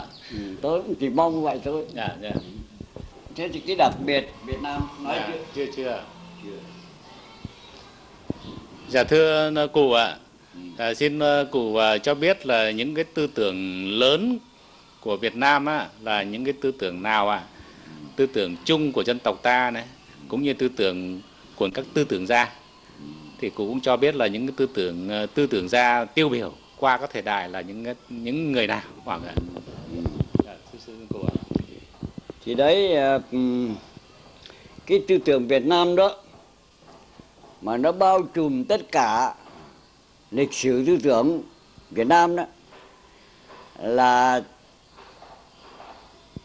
nó khác biệt với lại tư tưởng tàu, khác biệt với lại truyền thống tàu khác biệt với lại truyền thống Ấn Độ, cũng như là nó khác biệt với lại truyền thống Nhật Bản. Ở chỗ truyền thống tư tưởng của nó là cái truyền thống thiền thiền hoa sen, mà chúng ta có thể chứng minh vào thế kỷ thứ hai, thứ ba thì cái cái sự du nhập và cái sự hiện diện của người Anh Đô Chít à, là Nguyệt Thị. Thì tức là Khang Tăng Hội. Khang Tăng Hội thì có cái thiền độ vô cực cái thiền độ vô cực đó thì lấy cái tượng trưng là hoa sen. Bởi vì ông ấy ví cái tâm. Thiền đó. Là cái tâm. Nó như là cái hoa sen hay còn nụ ở dưới nước. Bị nước nó che phủ, chưa thể ngoi lên trên mặt mặt mặt nước được. Ngoi được lên trên mặt nước thì tức là tự do rồi. Thì nở ra hoa nhưng mà còn đủ thì nằm ở dưới nước. Đấy cái, cái hoa sen ấy nó mới đi đến cái thời nhà lý đó cụ thể hóa một cách vĩ đại thành ra cái, cái chùa một cột. Vậy cái chùa một cột là cái tượng trưng của cái đóa sen của cái đài sen của cái hoa sen. Và để mà để làm mà cái ờ, trung tâm của cái ờ, của cái, một cái dòng thiền đặc biệt Việt Nam, tức là thiền thảo đường. Cái thiền thảo đường đó, nó đặc biệt Việt Nam bởi cái là nó có cái hiện diện tổng hợp một người phụ nữ lại đang thái phi. Một ông vua là lý thanh tông. Hết sức là là vương đạo và một ờ, nhà đạo sĩ tàu là thảo đường lại đi học đạo ở chiêm thành, mới bị bắt làm tù binh về. Trong cái khi mà ông lý thánh đông, ông đi đánh chiêm thành, thì bắt đặt ờ, làm tù nhân. Thế thì ba cái nhân vật đó kết hợp lại một cái nhất quán. Mà do cái chùa một cột nó tượng trưng. Thì cái chùa một cột nó tượng trưng nhất quán. Phật. Phật à, là, là quan âm nữ. Thảo đường. Thảo đường là thiên nhiên. Là đạo. Là đạo thiên nhiên. Đạo đạo đạo vô vi. Đạo lão trang Là đạo đạo gia. Thế còn vua Lý Thanh Tông Là cái người thứ nhất đã sáng tạo ra cái cái tập tạo thành đó tức là cái sanh tre tức là cái tập hợp tổng hợp. Thì, thì ba cái đó nhất quán là cái chùa một cột. Sở dĩ gọi là một cột là bởi vì là cái một đó nó đại diện cho cái nhất quán. Nhất quán ba cái cái, cái, cái tôn giáo đó. Thì trong cái khi mà nhất quán ba cái tôn giáo đó thì đấy là là cái đặc trưng của Việt Nam. Là cái quy hướng tổng hợp. Cái đặc biệt của cái truyền thống Ấn Độ và cái đặc biệt của cái truyền thống Trung Hoa. Thì hai cái truyền thống đó là hai cái truyền thống vĩ đại của Á Châu. Vì nó sống lâu lắm cho đến ngày nay nó vẫn nó vẫn linh động như thường. Chứ nó không như là cái truyền thống của ai cập thì nó chết rồi nó thành ra là là, là di tích khảo cổ ấy. hay là ba tỷ luân ba tỷ luân nó cũng là cái di tích khảo cổ thế còn cái, cái truyền thống la hi tức là hy lạp và la hi đó của tây phương đó. Thì thì nó bị cái cái cái cái, cái, cái truyền thống của thiên chúa giáo đó nó nó làm thay đổi. Nhưng mà dù sao đi nữa nó vẫn giữ cái nó vẫn giữ suốt thời thời kỳ lịch sử cho đến đề cát rồi cho đến cả đại đó. Cái khuynh hướng của La Hi là cái khuynh hướng lưỡng nguyên. Nghĩa là hoàn toàn trí thức.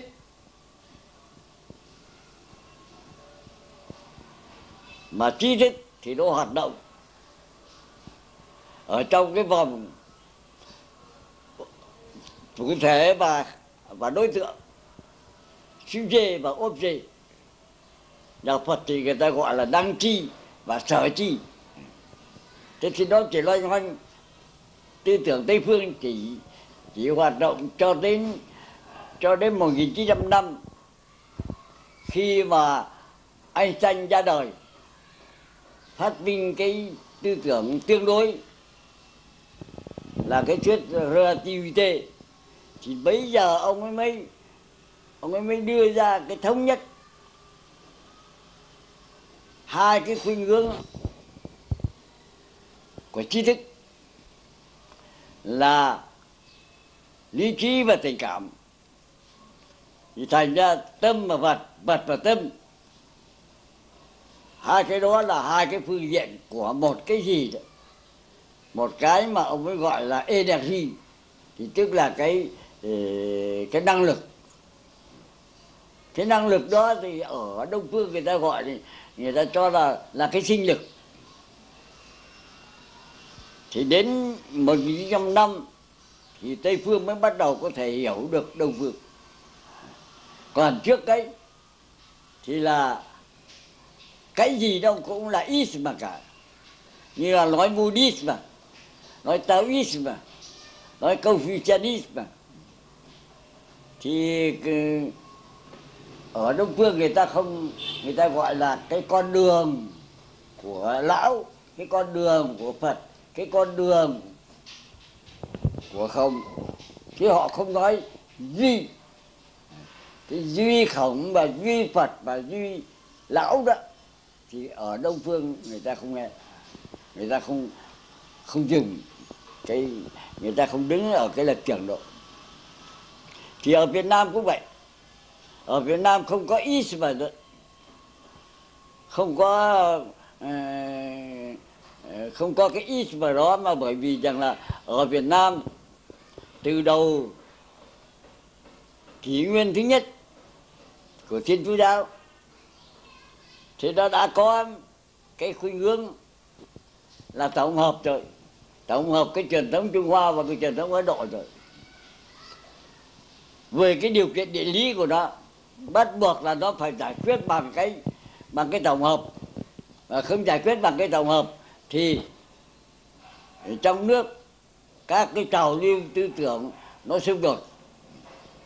Nào tư tưởng thần tiên nào tư tưởng uh, trường sinh bất tử nào tư tưởng lão nào tư tưởng uh, Ờ, phật, nào ờ, tư tưởng ờ, là nho vân vân, nó cứ xung đột. Thì phải có một cái gọi là một cái tranh tê rồi, tức là một cái tập đại thành, một cái tổng hợp.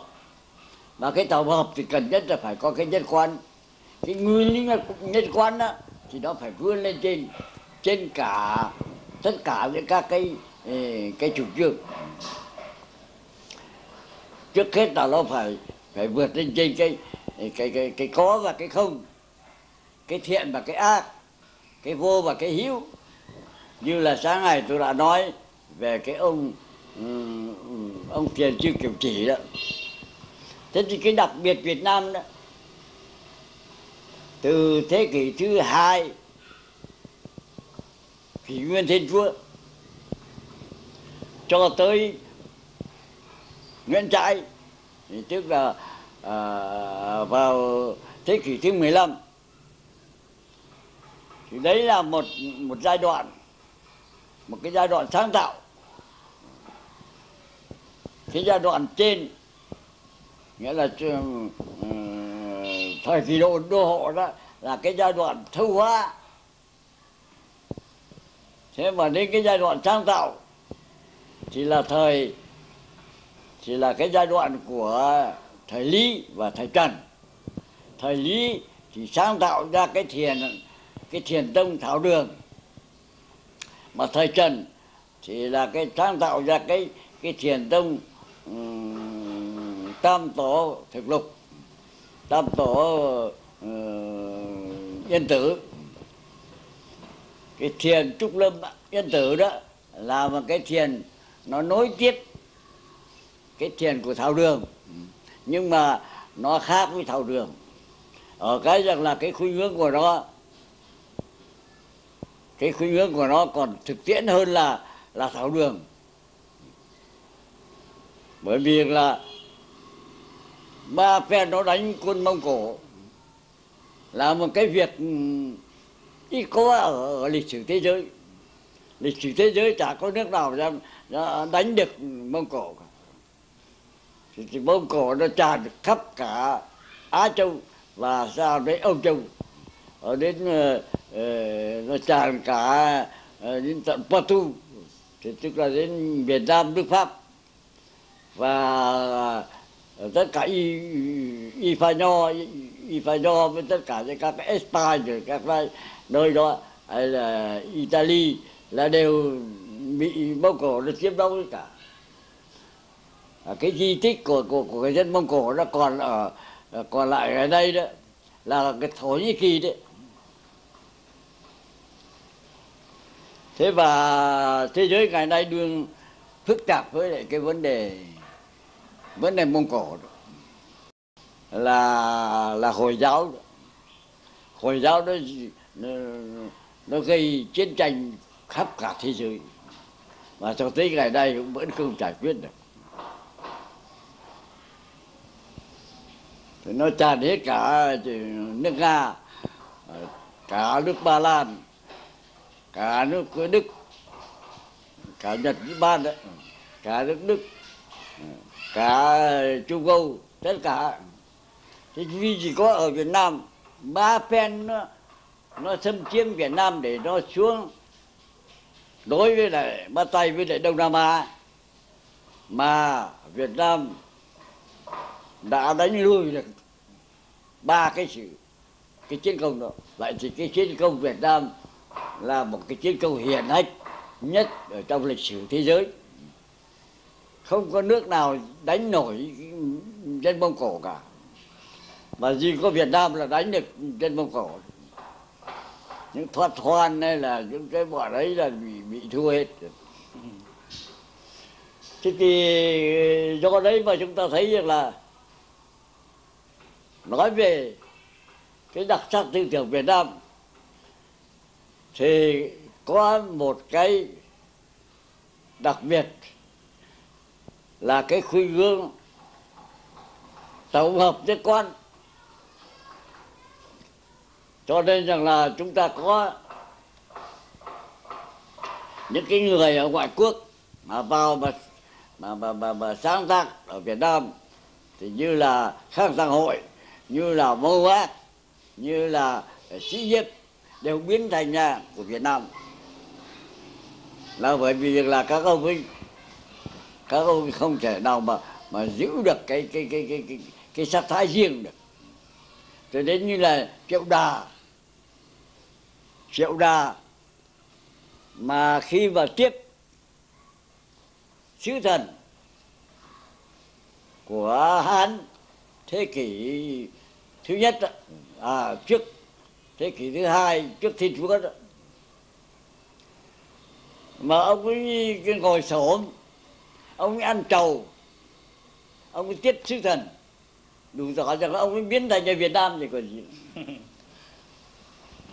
Một ông một ông đệ, đại đế một ông ông, ông vua gọi là là là việt gọi là nước Việt Nam tức là Quảng Châu Nam Việt đấy. Ừ. thế rồi thì sau đó thì là sĩ nhiếp sĩ nhiếp thì là uh, là, là là là thâu hóa của tàu. Thế nhưng mà ờ, ở tàu có khi là nhiều nhiều nhiều cái mà mà mà, mà tàu bỏ đi thì chính ông ấy ông ấy là người ông ấy không bỏ cái gì cả. Ông ấy lấy cái cái thượng thư, cái ờ, cái luân lý của thượng thư. Thượng thư tức là ờ, là cái truyền thống trước khi, trước nhà chu. Thế là ờ, nghĩa là nó cổ nhất trung hoa rồi thì kinh thi kinh thư kinh dịch kinh lễ kinh sơ thu. Thế thì ông mới làm cái tổng hợp giữa kinh thi à, à, kinh thư và kinh sơ thu. Ông ấy ông, ông ấy tạo ra thành ra à, một cái ý thức hệ Việt Nam để ông ấy áp dụng vào cái chính trị độc lập của giao chỉ thời bây giờ bởi vì ở nước tàu bây giờ thì thành ra chia ra là tam quốc kìa. Ngụy thục ngô ngụy ờ, là ở phía bắc. Thục là ba thục. Ngô là ờ, ngô quyền phía nam. Thế thì ba cái nước đó giằng co với nhau ở bên tàu. Thì đấy là cái thời kỳ mà à, giao chỉ độc lập. Dưới sự lãnh đạo của à, Ờ, của ông vua gọi là sĩ vương tiên. Vì thế cho nên người Việt Nam mới gọi ông ấy là sĩ Vương Tiên và lịch sử Việt Nam mới phong cho ông ấy là nam gia học tổ. Thì đấy là là là là là một cái giai đoạn độc đáo của Việt Nam. Tuy ở thời kỳ ờ, thâu hóa sáng tạo mà vẫn giữ cái sắc thái riêng. Bên cạnh cái đó thì có hai dòng thiền một cái dòng thiền Vinitarichi là cái dòng thiền Ấn Độ thế kỷ thứ sáu. Cái dòng thiền đó đã à, tạo ra được một ông một ông thiền sư uh, chữ danh người Việt thì tức là Pháp Hiền. Ông Pháp Hiền sau khi ông uh, ông Tỷ Ni Đao Chi ông thì đi Đao Đung Chi, tức là Vini Đao Đi Chi. Đem cái cái biện chứng pháp phủ định của Sunyata, tức là không, vào truyền cho ông Pháp Hiền. Chỉ đến khi mà ông để mà mà mà thực hiện cái gì? Để mà thực hiện xem rằng là mình là ai, ta là ai, who am I? Thì ông Pháp nhân lúc đầu ông không hiểu. Thế thì rồi sau khi ông Tỳ Ni Đa Lưu Chi mất rồi đó tịch rồi ông uh, ông tổ sư đã tịch rồi đó thì ông Pháp Hiền vào núi Thiên Chu mà tập luyện. Tập luyện đi đến cái kết quả là ông thực hiện được cái thiền tịch để cái, cái thiền định mà ở cái giai đoạn thiền định đó thì ông thực hiện được đến cái trình độ gọi là không còn phân biệt vật ngã câu vong nghĩa là không còn phân biệt ngoại giới và nội giới nữa. Cho nên là các cầm thú vây chung quanh ông hoàn toàn là là bị bị, bị, bị thuần thực hóa hết cả thì đủ tỏ ra là cái cái cái cái cái, cái tinh thần của ông ấy bây giờ nghĩa là không phân phân phân biệt. Ừ. không phân biệt khách quan và chủ quan. Thế rồi thì ông ấy trở về ông ấy ông ấy dạy học. Ông ấy dạy học thì cái thì, thì học trò của ông ấy đông lắm. Thế thì cái chùa của mình từ xưa đến nay đó, là đào tạo lên nhân tài. Chứ không phải là là có cái trường đại học gì cả.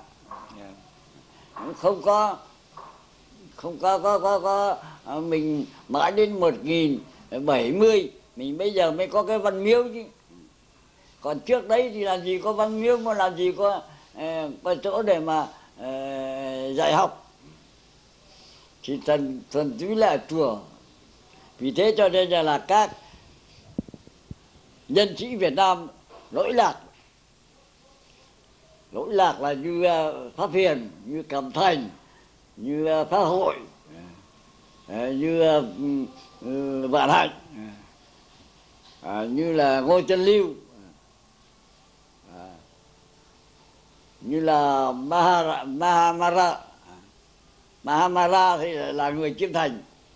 Thế mà rồi thì ừ, biến thành ra Việt Nam. Thì những các cái nhân vật đó đều có chức tác cả. Mà những cái chức tác của của các ông ấy là có cái sự độc đáo. Như chỉ có cái rằng là thanh niên ngày nay không được học những các cái đó. Và cũng không có ai giảng được cái đó.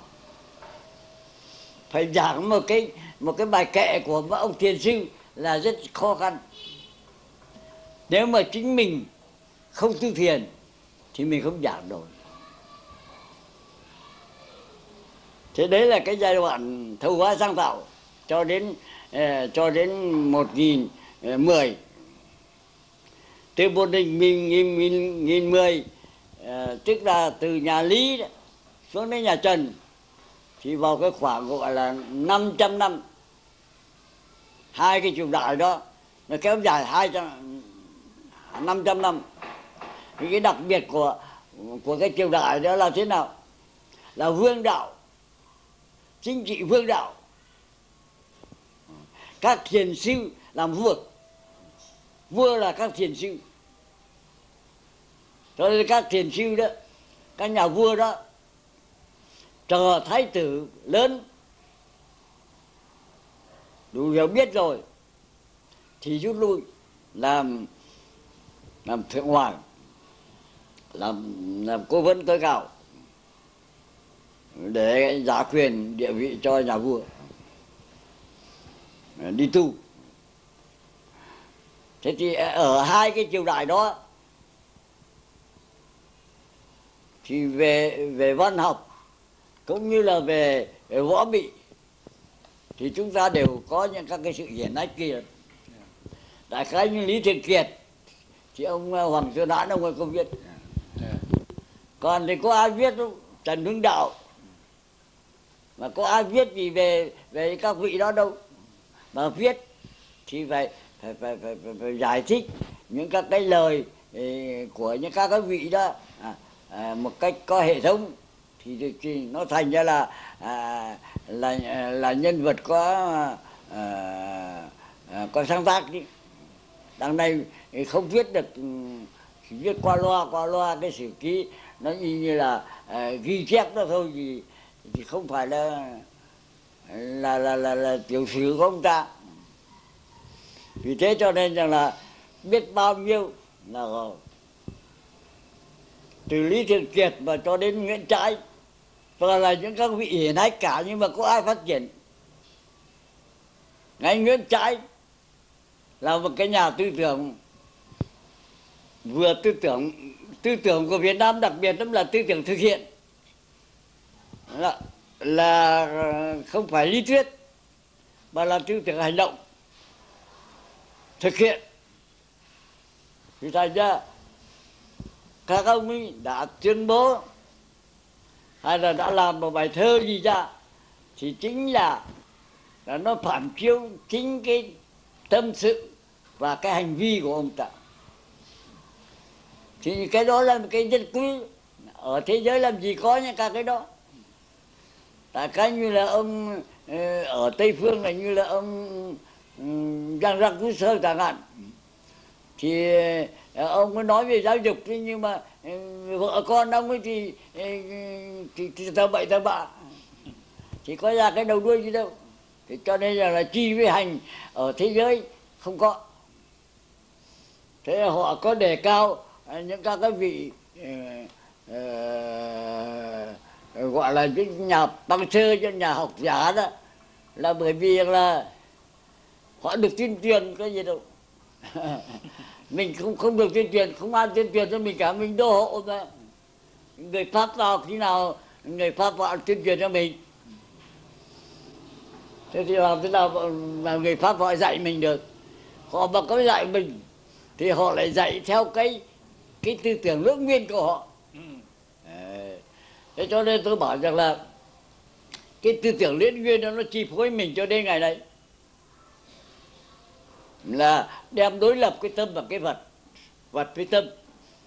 Tranh giành nhau nhau là là cái tư tưởng của thực dân, là cái tư tưởng của của pháp. Thì thành ra mình chưa có chưa có cái giai đoạn nào gọi là mình ờ, độc lập cả thì tôi mong rằng là cái ờ, cái đại học hùng vương đó là một cái đại học để mà xây dựng nên một cái giáo dục dân tộc, sẽ đào tạo lên những cái nhân tài Việt Nam độc đáo sau này. Nếu mà có được cái ý thức hệ hùng vương mình đi tìm mà xây dựng một cái dạy hùng vương bây giờ là rất quan trọng. Không phải là chuyện dễ đâu. Là bởi vì là hùng vương là nó thuộc về thần thoại nhiều lắm. Nhưng mà thần thoại tức là gì? Là tư tưởng tiền la tập. Thế thì cái tư tưởng tiền la tập nó không có xa lạ gì với lại dân Việt Nam cả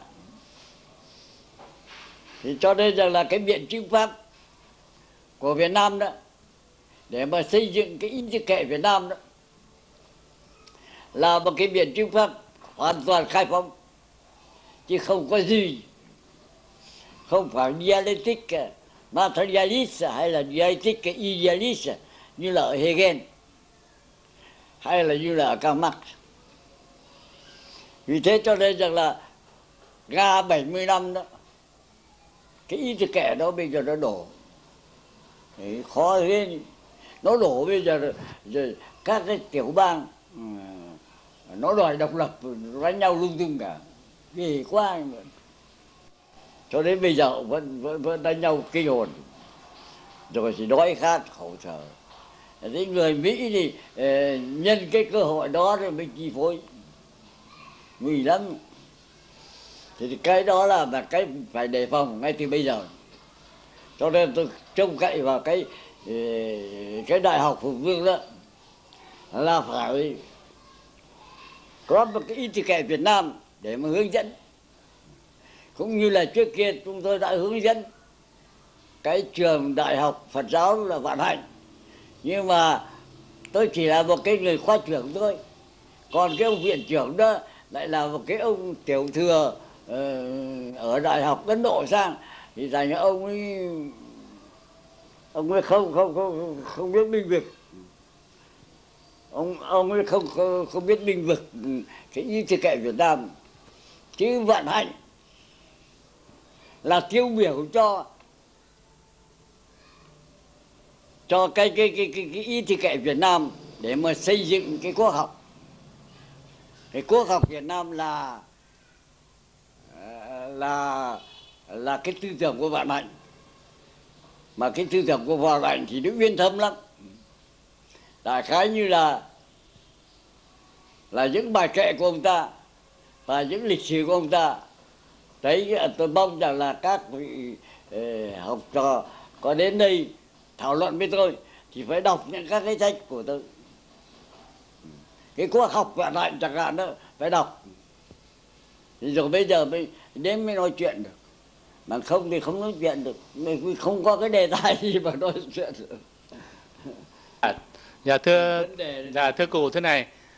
Là, là để xin cụ à, nói cho tiếp đó là những cái tư tưởng mà lớn của Việt Nam mà phát xuất từ à, cái kho tàng dân gian đó tức là ca dao tục ngữ đó. Từ cụ thì uh, có những câu uh, nói chẳng như là bầu ơi thương lấy bí cùng. À, tuy rằng khác giống nhưng chung một dàn. Thì, thì nó cũng nó cũng thể hiện một cái cái, cái sự hòa đồng phải không ạ? Vâng. cái, cái tư tưởng hòa đồng phải không ạ? Vâng, thế cụ uh, cụ có thể nói. Thưa cụ là cụ có thể thế này là ngoài những cái tư tưởng mà uh, căn cứ vào bác học có mà cái giới bác học đó thì bây giờ cụ cũng xin nói là bình dân và tin tưởng bình dân đó thì bắt đầu bằng những các cái hội mùa xuân. Yeah. à, cái hội mùa xuân đó thì nam với nữ gặp nhau một cái chất tự do. Đại khái như ở động thẩm lệ chẳng hạn. Cái động đó rất thiêng. Ngày thường không ai dám đến. Nhưng mà vào cái đầu mùa tháng 3 thì trai gái đến để mà giao duyên với nhau. À, thần tình. Thì cái đó với lại cái hội lim cũng vậy. Nghĩa là tục ngữ ca dao thì thì, thì trông vào những các cái ê, ê, những các cái ê, cái lời tình cảm của nam và nữ. Thì họ mới chia ra bên âm và bên dương. Dương là đàn ông âm là đàn bà thì hai bên giao dịch với nhau bằng những câu câu hát đại khái như nhiều câu hát thì nó nhiều lắm thì tôi có uh, trình bày ở ở cái quyển quyển thứ thứ năm đó dạ được rồi ạ à.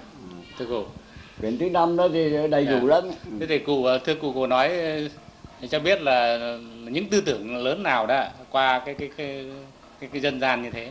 À, chỉ là tư tưởng của dân gian đó là tư tưởng về tình cảm. Thì cái đời sống tình cảm đầu xuân của nhân dân Việt Nam thì nó phát triển ở những các cái ờ, những các cái bài hát quan họ hay là những những các cái bài hát giao duyên của nam và nữ gặp nhau một cách tự do. Chứ không không, không bị không bị có cái mặc cảm hay cái cấm đoan của gia đình nữa. Thì cái tư tưởng của Việt Nam mà gọi là bình dân đó, thì nó tự do lắm. Chứ nó không không bị lệ thuộc vào những các cái hệ thống của uh, của nho giáo. Nho giáo thì thuộc về phụ hệ. Yeah. mà uh, nhân dân Việt Nam đó thì lại thuộc về về mẫu hệ. Và chứng chắc chứng nhị là đại biểu cho cho cho cho cho, cho cái cái mẫu hệ. Là người phụ nữ mà triệu tập mà lãnh đạo nhân dân để chống với lại thực dân chống với lại đế quốc. Thì đấy là ờ, là đặc biệt Việt Nam. Cái người phụ nữ ở các nước làm gì có những các cái cái cái cái, cái thái độ ở bên Pháp thì có ừ, có bà Zanda bà Zanda đó thì cũng cũng chỉ là à, là tiêu một chút thôi chứ còn chứ ở Việt Nam đó đó là phổ thông lắm. Cho nên là người ta thờ à, trình chắc trình nghĩ, rồi thì người ta thờ à, liễu hạnh. À. đấy là là toàn là là thờ về mẫu. Mẫu là địa mẫu là vũ trụ. Là vẽ đẻ ra vũ trụ dạ thưa cụ à, việc mà thờ các nhân thần đó đó. à, trong đó có các anh hùng dân tộc cũng như là nhiều dân tộc và có thể là những người mà bình thường thôi à. mà, là mà dân tộc hay là hay là ừm, những người bình thường thôi làm Đúng. thành hoàng cho và Và cho rồi. làng chẳng hạn phải rồi thì một người hay là thờ mà tổ tiên đó phải rồi thì thưa cụ là như vậy nó có thể hiện một cái cái tinh thần mà mà gọi là nhân chủ của Việt Nam không? hẳn đi chứ Dạ, bởi vì cái dân chủ Việt Nam nhân chủ. cái cơ cấu xã hội Việt Nam là cái văn hóa đình làng Dạ. cái văn hóa đình làng đó thì tôi thấy rằng là mỗi một làng đều có cái chùa và cái đình cái đình thì thờ đàn ông mà cái cái chùa thì cho những bà vãi à. thế thì cứ làng nào cũng có một cái chùa và cái đình thế thế, thế tôi gọi là là văn hóa đình chùa là như vậy. Dạ. thế và cái cơ cấu của xã hội Việt Nam đó thì lệ vua thua ờ, lệ luật vua thua lệ làng. Thì làng là cái xã hội là cái, là cái đơn vị tổ chức là cái đơn vị tổ chức cái cơ cấu chính trị của của xã hội Việt Nam. Thì trung ương chỉ đi đến đến đến, đến phủ huyện thôi. Chứ không đi đến được. Cái làng của người ta cái làng của người ta đó thì có ban người ta bầu lên một cái ban gọi là cái ban đàn anh. Thế thì cái ban đàn anh đó thì họ họp. Họ họp uh, để họ giải quyết cái vấn đề làm vấn đề việc làm thì cái cái đình nó đặc biệt là cái là nó vừa là cái nơi để thờ thờ cúng vừa là cái nơi để hội họp làm việc làm vừa là cái nơi ăn uống. À, chứ nó không có phân biệt ừm, ờ, ờ, cái cái cái cái cái, cái thờ cúng thiêng liêng với lại cái ờ, cái đời sống bình thường. À, đấy là một cái một cái đặc sắc và cái đó sau này đó cái cầu đài đó nó cái làm là cái ờ, gọi là cái cái cái cái cái, cái, cái thánh thất. Cái thánh thất của họ cũng bắt chước như vậy. Mà cũng cái gia đình cao đài cũng vậy. Cũng thờ và làm việc uh, làm việc thiêng liêng với lại làm việc phàm tục đi đôi với nhau. Yeah chứ nó không có phân biệt rõ rệt. Hai cái độ bây giờ.